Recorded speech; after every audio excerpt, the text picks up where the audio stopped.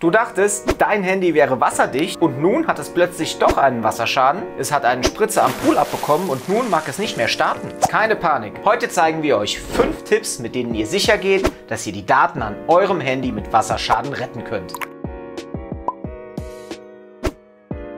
Tipp 1. Schalte dein Handy sofort aus. Das mag offensichtlich klingen, aber in einer solchen Situation vergessen viele Menschen, diesen Schritt zu gehen. Wenn dein Handy weiterhin eingeschaltet bleibt, entsteht durch die Abwärme des Akkus im Inneren eine oberflächliche Abtrocknung der Feuchtigkeit. Dies führt zu Kurzschlüssen und einem Funktionsverlust.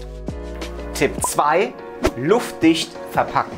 Eine Trocknung, wie ihr sie häufig im Internet beschrieben bekommt. Nein, auf gar keinen Fall. Packt euer Handy luftdicht ein. Entweder im besten Falle vakuumieren oder ab damit in einen Gefrierbeutel und den luftdicht verschließen. Warum, wieso, weshalb? Die Feuchtigkeit im Inneren eures Gerätes ist nicht das Problem. Hä? Die Problematik ist, sobald eine Trocknung stattfindet, entsteht durch die verwendeten Edelmetalle auf der Hauptplatine deines Handys eine Korrosionsbildung. Diese führt zu Kurzschlüssen und kann unter Umständen einen irreversiblen Datenverlust mit sich ziehen. Möchtest du die Chance auf eine Datenrettung erhöhen, das Gerät also luftdicht verpacken. Tipp 3. Auf gar keinen Fall versuchen, das Gerät zu starten oder Strom zuzuführen. Nachdem du dein Handy luftdicht verpackt hast, solltest du es nicht nach einigen Tagen nochmal da rausnehmen und dann versuchen, das Gerät zu starten oder gar das Ladekabel einzustecken. Du riskierst hiermit einen kapitalen Datenverlust. Tipp 4.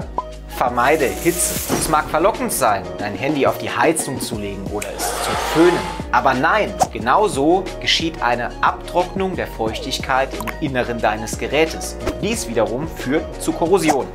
Korrosion begünstigt die Kurzschlussbildung. Du riskierst auch hier einen kompletten Datenverlust. Tipp 5. Wende dich an Profis, zum Beispiel Rescue. Wenn du wichtige Daten auf deinem Handy hast, ist es immer der beste Weg, dein Handy dem Experten zu übergeben. Es kann sehr verlockend sein, dein Handy selbst zu reparieren, aber in solchen Fällen raten wir dringend davon ab. Ohne die richtigen Werkzeuge und das richtige Know-how kann dies mehr Schaden anrichten als Nutzen bringen. Wir bei Rescue haben über 16 Jahre Erfahrung mit der Datenrettung an Handys, die mit Wasser in Kontakt gekommen sind.